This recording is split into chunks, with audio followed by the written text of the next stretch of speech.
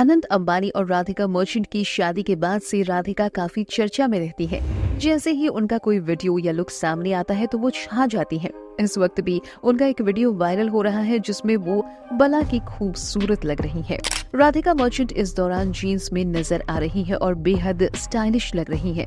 Jeans के ऊपर उन्होंने फर वाला टॉप पहना हुआ है। राधिका की जीन्स काफ़ी चमक रही है और देखने में लग रहा है कि ये काफ़ी महँगी होंगी।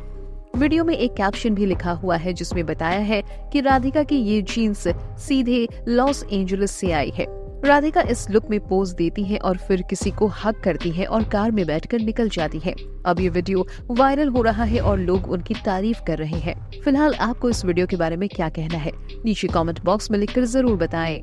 ऐसी ही और खबरों से हमेशा अपडेट रहने के लिए चैनल को सब्सक्राइब कर लीजिए और वीडियो पसंद आया हो तो लाइक और शेयर करना ना भूलें।